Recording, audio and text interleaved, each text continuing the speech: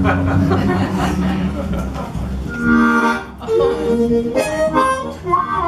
you hear that? Yes.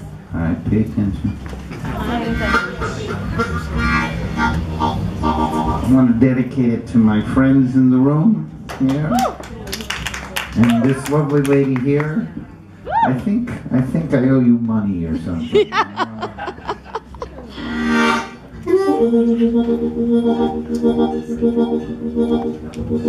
you.